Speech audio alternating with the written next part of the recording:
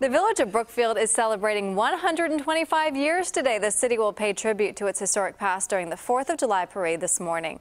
The Grand Marshal has a very special connection to the village. This is 92-year-old Mary Phillips. Good morning, Mary. According to the Riverside Brookfield landmark, she's lived in the same house since birth.